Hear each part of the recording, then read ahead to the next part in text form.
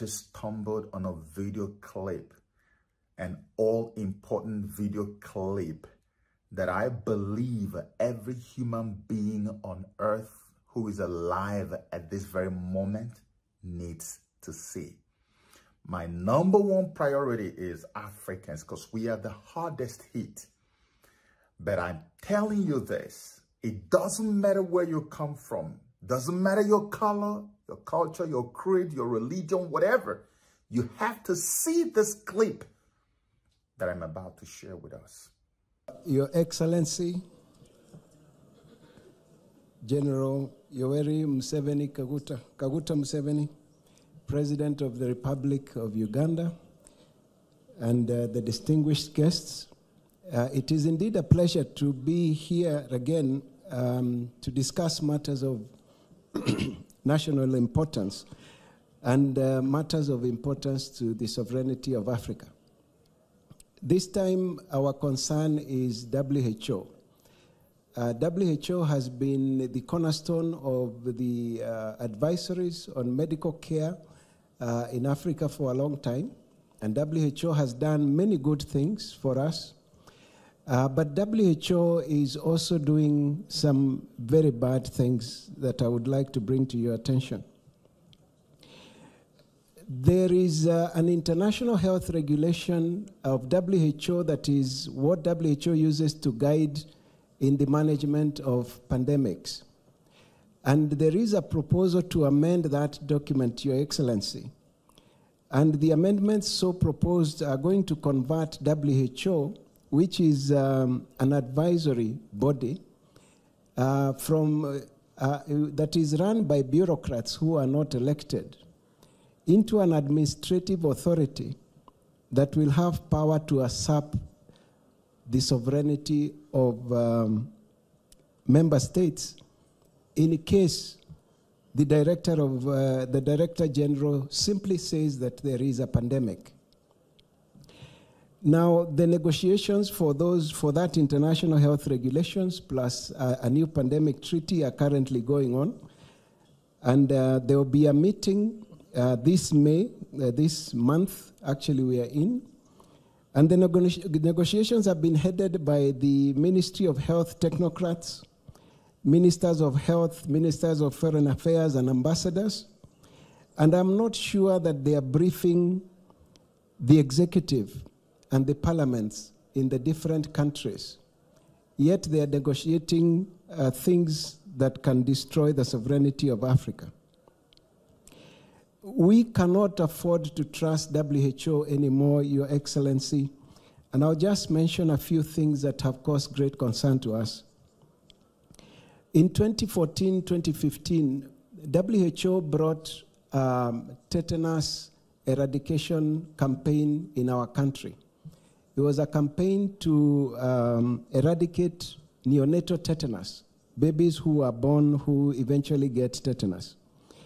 And um, the vaccine that was used is a different type of a tetanus vaccine that is a fertility regulating vaccine, where they take tetanus and combine it with a hormone called human chorionic gonadotropin that supports pregnancy. And when you inject a woman with that vaccine, she produces antibodies against that hormone and therefore is rendered sterile.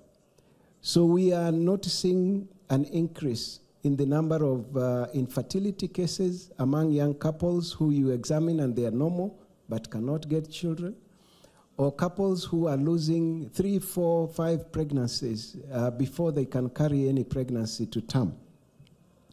We were able to expose this, and uh, we have even published a paper that is available. And um, Fortunately, in 2017, WHO said Kenya is now free of neonatal tetanus and they left our country. But they developed this vaccine over a 20 year period of research from 1972 to 1992. And they used that vaccine in South America, and it is possible it has been used in many other African countries.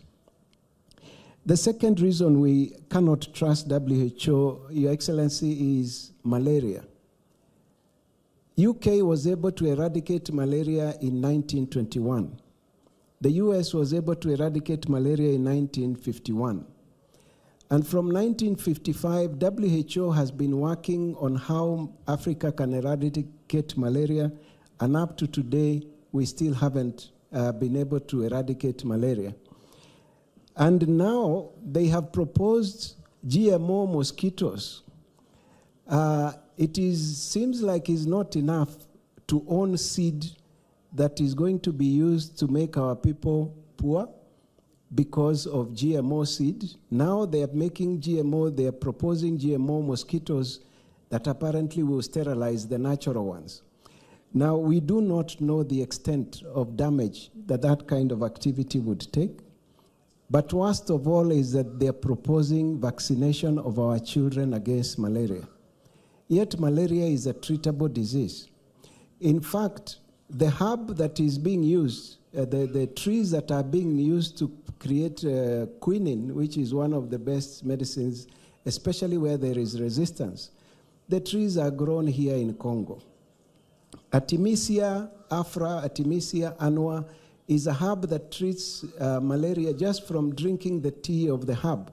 These things are available to us. And with concerted effort, Africa can eradicate malaria without the help of WHO. Now, one, one of our uh, doctors in Congo uh, wrote a paper that demonstrated how well the Artemisia tea worked and compared it to conventional medicine and even demonstrated it works better than conventional medicine. And two years later, his paper was pulled out, it was retracted. We do not need a vaccine for our children to treat for, for malaria. Then, Your Excellency, WHO also proposes the use of the HPV vaccine to prevent cancer of the cervix amongst our children. We are supposed to inject our girls from the age of 10 with a vaccine called human papilloma vac- uh, uh, HPV vaccine. Now, that vaccine is being said to be a vaccine for preventing cancer of the cervix. Your Excellency, that vaccine is for a sexually transmitted disease called human papilloma virus disease. It is, it is not for cancer. Now, any virgin whether male or female, is not at risk of getting HPV. And it is only on the first sexual experience that there is a risk that one could get this disease.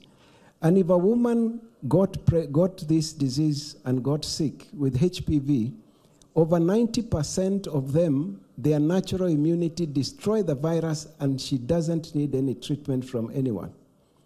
A small group of 1 to 10% will develop persistent disease. And this persistent disease, undetected for 15 to 20 years, is the only time it would give them a risk of cancer. And Europe and America were able to reduce deaths from cancer of the cervix to negligible levels by only popularizing a test called the, the pap smear test among any woman who has ever experienced sexual intercourse. One test done every three years your Excellency, WHO has always been an advisory organization. What Dr. Wahome is saying, the new international health regulations that they are pushing will make the decisions by WHO binding to all nations, and that is what we must resist. So if they decided that Uganda needs to have this vaccine, then it will ensure that the vaccine is actually given to all the people because that is their decision. And those are the health regulations that we are saying should not be passed by the health ministers. Now, Dr. Wahome. Dr. Wahome, maintenant. Has now rang the alarm bell. Vient de sonner la cloche. I have been proud promoting 13 vaccines. Je promouvais avec fierté 13 vaccins. In Uganda, oh, you, you, you go and be vaccinated, 13 of them. En disait vaccinez-vous, 13 vaccins. Including the one he, she's talk, he's talking about, the one of uh, anti, anti cervix cancer. Y compris le vaccin qu'il a évoqué contre le papillomavirus. So I thank you so much. I want to read that paper. Je vous remercie. J'aimerais lire votre document. The, the, so, so you are now coming up to fight your wars because for us we fought ours. We are, we are now in the, the back in the background supporting you. Now you take the lead and fight these wars. Vous commencez à mener vos combats. Nous avons amené les nôtres et nous vous soutenons aujourd'hui. And I thank you for immunizing me against WHO Et je vous remercie de m'avoir vacciné contre l'OMS. because now you have given me a vaccine Vous venez de me vacciner contre l'OMS. to be careful about WHO. De faire attention quand je traite avec l'OMS. Now, let me let me just show you something. I'm going to show you something on my YouTube channel. Uh, the title is Next Pandemic Killed or Caged Like Animals, Part 1. Next Pandemic Killed or Caged Like Animals, Part 1. In this video, I exposed every single thing that you just heard, especially the aspect that gives WHO the power to declare an emergency in your country. And before they declare emergency, it doesn't have to be that there is a pandemic necessarily. There's something they call One Health. One Health means that if they see that there is an emergency, medical emergency involving animals or involving the, the planet or the climate, yeah, it doesn't have to be human beings, that they can actually declare emergency and take over administrative functions in your country taking charge of how things are run in your country. They become the government. They can say, let these people here be quarantined and let this happen to them. Let this other group here, let this local government, let this state, let that. WHO becomes the government, the big brother in your own country. And many countries are signing this thing right now. They are signing it and they don't have to go through the Senate, through, through the parliament. This is what the doctor is saying. And your brother Joseph Okechukwu told you this about a year ago. You guys go to my channel and watch my videos. You're not listening. I tell you everything. Bill Gates coming with GMO mosquitoes. Did you see what they what they exposed today?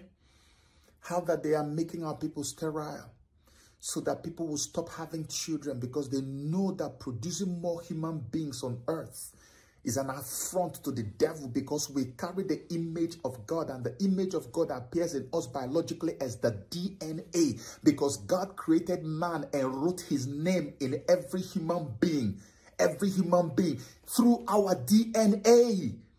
They want to depopulate what God made so that the ones they have made themselves in the image of Satan will take over the earth. How many times am I going to say these things? Robots, humanoids, they have them waiting in millions.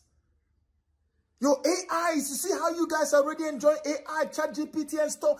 They have them already in humans. They even have robots that are now feeling emotions. They want to take over. You don't understand what's happening. They want to wipe us out. They want to depopulate the world and Africa is their greatest problem. Do you see what the plans these guys have?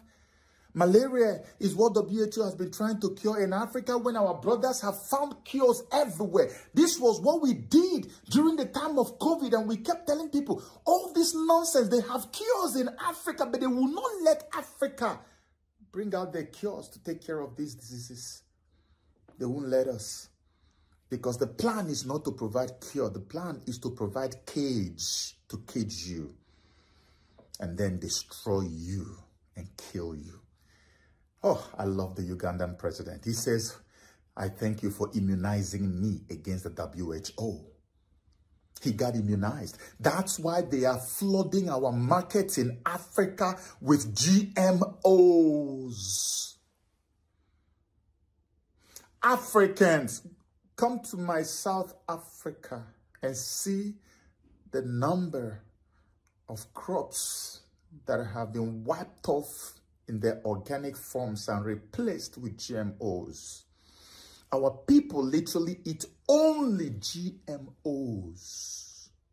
in South Africa. They're doing it in Nigeria. Remember the last video I did in Igbo language, I told my people how that a doctor from Nigeria in Jemaze exposed Bill Gates as having a hand in the killings taking place in Nigeria because they want to displace our farmers who are planting organic crops in their farms so those farmers can depend on GMOs that are full of diseases. GMOs, when you see mangoes that don't look like the real mango, they look like pawpaw, throw them away. Africans, Nigerians, wake up. If you people don't want to wake up, okay, Igbo people, wake up. Any place you see them selling those things, make sure you raise alarm and tell people to avoid them. When we bankrupt them, we will make sure we send them packing. Monsanto is there in South Africa destroying our people. I am so excited that we have Africans who are waking up. That's why I told you the war they want to start is to destroy everything and reset everything all over again so that we can have the fourth industrial revolution. I've actually tried my best, but I'm not going to stop. Watch that video again. I don't want to repeat things that I have said before. I made part one up to part two. Go and watch it again. It says next pandemic killed or caged like animals part one. I made it. But you know another thing that gave me joy and made me very happy? Ghanaians are at war with these satanic GMOs. GMOs are crops that you plant. They manufacture them. They tinker with the DNA of the crops. And when they, they give it to you, you plant it, it does not reproduce itself. So you keep going back to them to get another one. The GMO corn, you cannot take that corn and take the seed and plant in the ground to germinate and give you something. No, you have to go back and get another one. And they keep updating it, updating it with different, different satanic diseases they inject into these crops to sterilize you and make you impotent and make you infertile as a woman.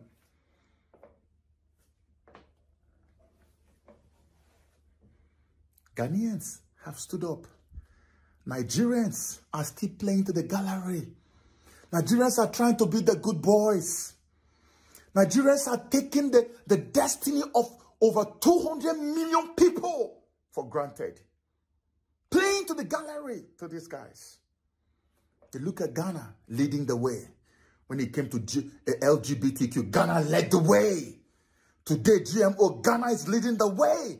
No matter what you may think about that country, we have human beings there who still reason and think. Watch this next clip so you understand what I'm talking about. We can produce foods, we can feed ourselves. GMO is not the way to go. Who told you that GMO is the way to go for Ghana? Ghana's food security is for the states, for the nation, to put in drastic measures for our agriculture industry to boom. We produce tomatoes, we produce food stuff, we leave them on the market, uh, on the farms to rot. We don't even have motorable roads to bring them to, to, to, to, those who need it. And he said that our food security hinges on GMO. Ghana's food security. Come again. What next? What next is that the plaintiffs and the society at large, the peasant farmers and all stakeholders, from today will be monitoring the NBA so that these orders that the court has given out there, they follow these orders. If they don't follow these orders, your good is your guess is as good as mine. We'll come back to court to enforce them to do that. That's why they should rest assured. So today Ghana has won, and today GMO has been exposed. The foreign multinational companies, I'm speaking to you, Monsanto, Syngenta, whatever government is telling you, you have been exposed. You cannot dump GMOs onto our Ghanaian market. You cannot dump GMO on Ghanaians. And if you want to dump GMOs, the court of Ghana is saying that label it so that Ghanaians will see that your Monsanto GMO, Mindy, I don't want it. It's as simple as that. So it's uh, victory for Ghana. All right, thank you. Do you see it? Do you see it? GMOs from pineapples to oranges to corn to mango to bananas to whatever. They are saying you must label your stuff as GMO so that our people will know that this one is a poison genetically modified organism. Why are you modifying the gene in something that God created and said, take this fruit as your food and let the herbs be your medicine? Satan said, let me go and manipulate the gene of that food. So when they eat the food, they'll eat poison into themselves. And the herb may not even be able to help you anymore. They are even manipulating the gene of the herb that is supposed to cure us so that we can depend on the satanically generated vaccines. You see what is happening? What does it take for us to wake up? And know that this is no longer a game. The guys are out to get us there, out to destroy us. Why can't we just wake up? As an Africans, as Africans, as, as a continent, and say no. Political importance is rubbish compared to the destiny of your people collectively. What is wrong with you, African politicians? What is wrong with you? If the politicians won't do it because they want to be called good names by the colonial forces, we the people will do it. Individually, stop taking seeds to plant all this rubbish that you're planting. Something that's supposed to take five years, 10 years, it takes one month, two months, and you are happy and you are celebrating it online, you are part of the problem. I am giving you the information today. Stop. You are killing people. Stop it. Enough is enough. Let's wake up, Africa. Let's wake up. Let's be immunized in the same way that the president of Uganda has been immunized against the WHO that wants to become the nanny state. I put this in a video I made several years ago about the Olympics. When we were talking about COVID, I exposed it. And I brought out the predictive programming that was infused into the London Olympics of 2011 or 2012. And I produced WHO for you. And I told you these guys are going to be the nanny state. Go and watch that video. That was made four years ago. I put it there. Check it. It's manifesting now. Have I tried? Have I been trying? But the point is, are you people listening? The time has come. Share this video. It's not a professional video, but share this video wide. Let everybody, let government houses all over Africa see this and let's begin to take precaution, just like Uganda is about to take precaution right now and protect our population. Protect our population. We are God's children. That's why God is revealing all these things, raising all these men who are bringing out the facts. God bless you.